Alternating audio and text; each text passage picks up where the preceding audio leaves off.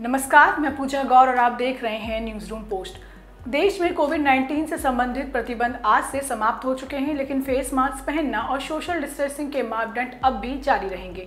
कुछ राज्यों में अब फेस मास्क लगाना अनिवार्य नहीं है।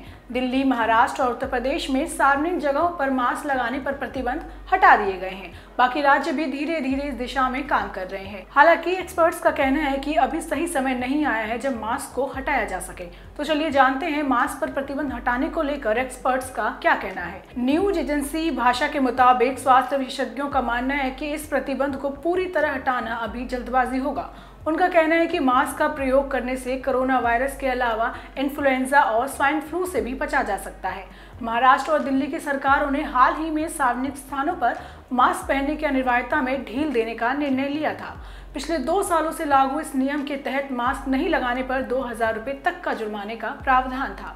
प्रख्यात विषाणु जीवानी टी जेकब जॉन ने कहा है कि क्योंकि भारत में महामारी समाप्त हो चुकी है, इसलिए सोर्स सीवीओ टू के प्रसार को रोकने के लिए मास्क की अब और आवश्यकता नहीं है। उन्होंने कहा कि मास्क लगाने की अनिवार्यता को खत्म कर दिया जाना चाहिए और लोगों को सार्वजनिक स्थानों पर स्वेच्छा से मास्क लगाने के लिए प्रोत्साहित किया जाना चाहिए ताकि टीबी, फ्लू, सांस की बीमारी फैलाने वाले अन्य सूक्ष्म जीवों के प्रसार को रोका जा सके। भारतीय आयुर्विज्ञान अनुसंधान परिषद के विषाणु विज्ञान उन्नत अनुसंधान केंद्र के पूर्व निदेशक जॉन ने पीटीआई भाषा से कहा कि मास्क लगाने की आदत से बीमारी कम फैलेगी। वर्तमान में हम किडनी प्रत्यारोपण के मरीजों को मास्क लगाते देखते हैं। बस, ट्रेन, विमान आदि में सभी को इससे लाभ होगा। फरीदाबाद के फोर्टिस हॉस्पिटल में डॉक्टर रवि शेखर झा ने कहा कि मास्क लगाने की अनिवार्यता जारी रखनी चाहिए और इस आदत को त्यागना उचित समय से पहले लिया गया फैसला होगा। झा ने कहा कि घातक दूसरी लहर ने दुनिया भर में कई जिंदगियाँ ले ली थी। ये ऐसा था जो विश्व ने पहले कभी नहीं देखा।